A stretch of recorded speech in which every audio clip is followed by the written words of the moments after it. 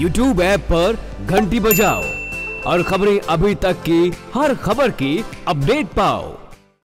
बड़ी खबर इस वक्त नरवाना से है, जहाँ पर पानी के टैंकर में आग लगी है। ये बड़ी खबर नरवाना से इस वक्त, जहाँ पर पानी के टैंकर में अचानक आग लगी है और साथ ही आपको बता दें कि यहाँ पर पानी के टैंकर में अचानक आग लगी है। बड़ा हादसा होते होते बच गया है और बड़ा हादसा ये हो सकता था, लेकिन ड्राइवर ने टैंकर से कूदकर अपनी जान बचाई। यहाँ पर पानी के टैंकर में आग लगी है और साथ ही आपको बता दें कि आग लगने के कारणों का अभी तक पता नहीं चल पाया है। तस्वीरों में आप देख सकते हैं कि कितनी भयंकर ये आग लगी और नरवाना से ये खबर है, जहाँ पर पानी के टैंकर में आग लगी है। ड्राइवर ने जैसे तैसे टैंकर से कूदकर अपनी जान बचाई। हालाँकि बड़ा हादसा हो सकता था, लेकिन समय रहते बचा लिया गया।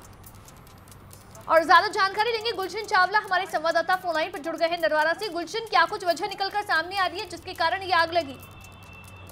ये वंशिका बिल्कुल नेशनल हाईवे दिल्ली पटियाला मार्ग पर चौड़ा करने का काम चल रहा है। इस, इस रोड को फोर लाइन बनाया जा रहा है और यहाँ पर जो टैंकर है जो आमतौर पर तेल के लिए यूज़ होता है पेट्रोल के लिए यूज़ होता है उसके अंदर पानी भरकर सड़क पर डालने के लिए ले जाया जा रहा था। तो अचानक ट्रक के कैंटर के अंदर कुछ फॉल्ट आया कि उसके अंदर पूरी तरह भयंकर आग लग गई और जिसको देखते ही कलनी ड्राइवर के भी होश उड़ गए और उसने ट्रक से कूद कर अपनी जान बचाई और ये आग इतनी भयंकर थी कि आसपास जो लोग रास्ते से गुजर रहे थे उनकी भी धड़कने बढ़ गई और तुरंत पुलिस को और फायर ब्रिगेड दमकल विभाग को सूचना दी गई जिसको लेकर काफ़ी बड़ा हादसा हो सकता था। अगर वो ड्राइवर ना उतरता था वो भी ज़िंदा जल सकता था।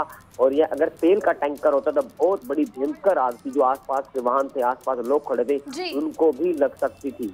बहुत शुक्रिया गुलशन तमाम जानकारी के लिए।